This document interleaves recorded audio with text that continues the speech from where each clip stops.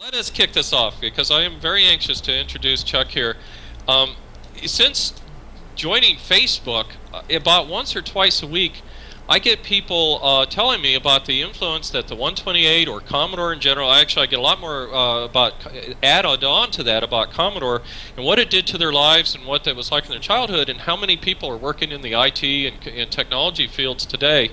Um, do those, and I know exactly what they mean because I have my version of that, and that version is the 6502 and the work that Chuck Peddle did, and and everything came before it. I was I was a TV repairman in Indiana. That was it for technology.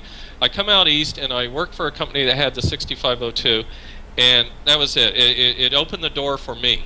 And so it, it's a chain of things leading back to. Uh, so Chuck is one of my my heroes here, and the more I hear from him uh, as far as what he did, because we take so much for granted. Uh, you know, uh, inventing PIAs and, and taking processors the size of multiple dinner plates.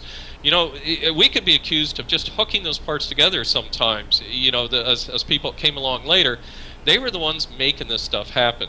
So with that, I, I and, and Chuck and his people don't get the uh, accolades that I think they're due, and I think there's some revisionism going on out there. And and as we talk today, I think you'll catch on who I'm talking about. But the uh, the uh, you know they don't get the credit that I think they do for being the true father of the PC, the home computer, and his team. And, and one of the things we talked about was making sure we get some of those names out there. And when I worked at Commodore, I didn't all know all the names either. And I, I, I was a young man at the time, and I wished I had stopped and said, well, who used to sit in that chair right there, and whose cigar butt is that there, you know? Um, but so I'd like to take that opportunity today and catch uh, some of the stories. So, Chuck, I know some of the questions we'd love to know is like, tell us about the 6502. Where's the 6501 at? Uh, you know, the modes, and, and tell us about the PIA and why that was important to you. And and I, I know I'd love to, to, you know, hear about you told stories about Petsky, and of course there's some great stories about Radio Shack and Microsoft in the old days and whatnot. So, with that, you know, tell us jump in anywhere you want, but tell us about the O2 or, or, or where that came from. What what was it that drove your vision on that? Um, I was born in a hick town called Maine, hick state, hit area, I don't know, whatever, right? And uh, grew up. My dad was a poacher, and so we, and the only way we could eat was eat deer meat, and uh, so I was when I thought I was going to wind up a radio announcer until I discovered I went to to compete for a um, contest to see if I could get a scholarship because we were so poor. And I realized that there were really talented people in the world, and I wasn't one of them. So I went back very broken, and the, at that point, the guy who owned the local radio station is also a neighbor, and a couple of my uh, instructors at school said, "We were hoping you'd get rid of that vision because it was a bad one for you, and we think you should go to school to be an engineer." And you, what you can do is go to school and be an engineer in the TV business because the TV business is just coming on stream. Okay, so I went trundling off to this university, which is the Cal College University, but was the only one I could afford, and um, got on campus and, and decided to take a course called engineering physics because I didn't have an idea what I wanted to be. I really didn't see myself as designing TV sets, and I didn't see myself designing TV transmission equipment either. But I didn't know what I wanted to be. Uh, and the reason for the engineering physics being so important is that it was a broad course. You get to take a lot of different things, and because we kind of set our own curriculum, in my junior year, I took a class from a guy who was teaching this class called information theory. Now, for you guys that are all listening, all of you grew up with information theory. You grew up with a telephone system that used it, okay? But it didn't used to be there. And the guy who put it there was a guy by the name of Claude Shannon from Lincoln Labs and, and MIT. And he was the pioneer. He's the guy that defined the bit. He defined a whole lot of things. And, and he was the guy that defined and implemented the telephone system.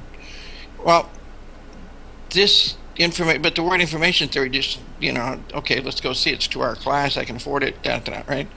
So it turned out the guy that was teaching the class had worked with Shannon very closely till he had a nervous breakdown.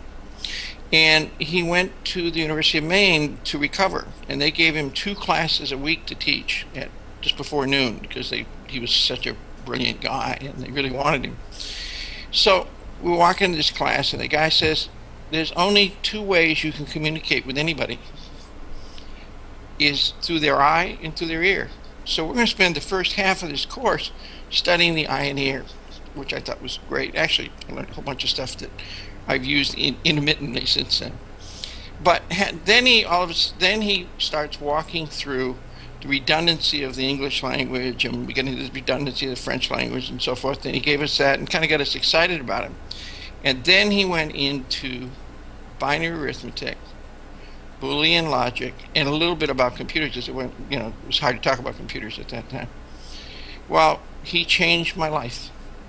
I fell so much in love with the concept of logic and, and binary and computers that I said, that's what I'm going to be, right? So there was nobody on campus to advise me of that because I graduated in 1959.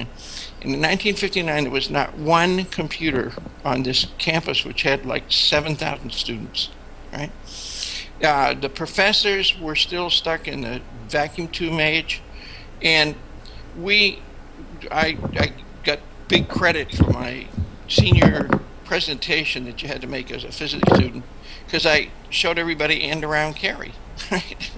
I mean, there was nothing there except this guy, and but luckily, guys like GE and Philco and IBM were hiring, and I decided because the Marine Corps had taken me to California that I only wanted to wind up in California. So I went to work for General Electric Company, who at that time had just done the magnetic ink recognition equipment for Bank of America. The guy who did that, his name was John Paivinen, and we're going to meet John Paivinen again in a crucial part of my history. All right. Um, and GE pioneered a whole bunch of things. During the time I was there, we pioneered the way you did did design using computers. We actually designed most of our computers using computers. They did the first online systems. While we were doing that, the we had a computer called a 225, and and this friend of mine that later on started a, his own video company, video, terminal company, uh, was the guy that was telling everybody you have to hook up computers, right? You have to hook computers up this way. And I want to take a deviation here because the other thing that we learned at GE was we started working on disk drives when I went back to Phoenix. I was in a computer lab, and, and what was important about that is I met some people that were important later.